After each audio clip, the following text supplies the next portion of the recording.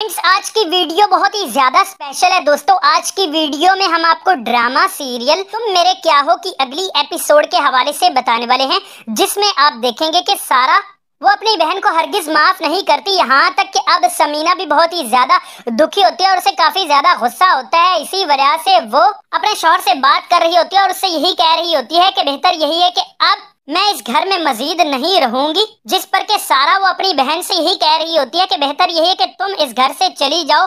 हमेशा हमेशा के लिए क्यों तुम्हारी वजह से हमारे घर का माहौल खराब हो रहा है? यहाँ तक के सब घर वालों के दिलों में नफरतें पैदा हो रही हैं और इन सब चीज़ों के लिए जिम्मेदार और कसूम ही हो इसके बाद सारा की बहन को बहुत ही ज़्यादा दुख होता है और फिर वो इधर मेर के घर वालों से बात करने लग जाती है कि कुछ दिनों के लिए वो वापिस आना चाहती है, लेकिन उमेर की वालिदा वो बिल्कुल भी ऐसा नहीं चाहती, इसी वजह से वो तो साफ़ साफ़ इनकार कर देती है। फिर खैर इधर आगे आप ये भी देखेंगे कि जोहेब वो बड़े अच्छे तरीके से तमाम तर मामला को संभालने की कोशिश कर रहा होता है। एक तरफ़ तो वो अपनी मोहब्बत को नहीं खोना चाहता, साथ ही साथ कुछ वक्त गुजरने के साथ आगे आप ये भी देखेंगे कि सारा को ये हकीकत के बारे में भी पता चल जाएगा कि जोहेब से पसंद नहीं करता।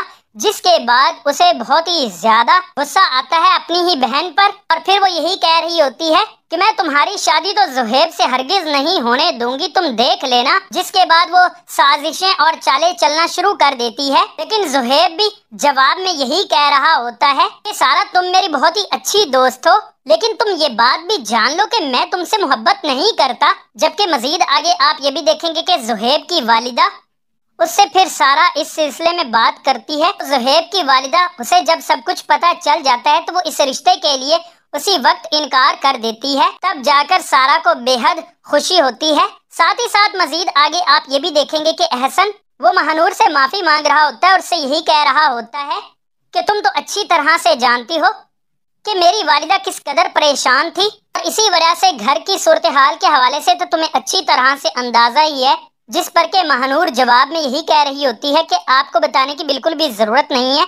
सो फ्रेंड्स अब आपको क्या लगता है? क्या जुहेब के फैसले की वजह से महानूर का घर भी खराब हो जाएगा या फिर नहीं? दोस्तों, आपको क्या लगता है? आप अपनी कीमती राय नीचे दिएगा कमेंट बॉक्स में ज़रूर बताइएगा। And make sure to subscribe the channel